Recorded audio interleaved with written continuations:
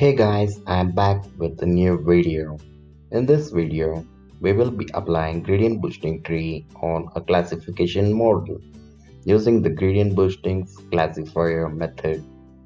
The dataset that we are going to work on is credit card dataset where the class 0 or 1 is the target variable where 1 represents the fraudulent activity and 0 represents non-fraudulent activity and all the other columns other than class are the x variables so i'm going to split the dataset into 30% test and 70% train and I will call the gradient boosting classifier method here and I will apply it on our train. They will be predicting the y or the target variable for the x and compare it using the accuracy score method of the Sklearn's matrix.